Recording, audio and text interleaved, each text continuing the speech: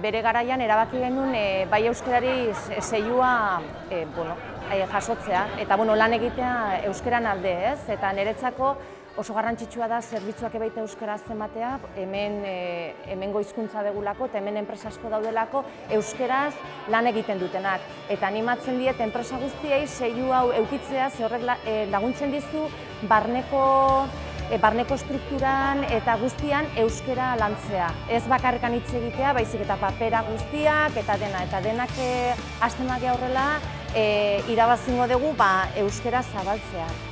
Eta, bueno, ba, animatu, bai euskerarekin jarri harremanetan, eta guazen denak e, hori lortzea, eta seiu handi bat ingo deudenen artean.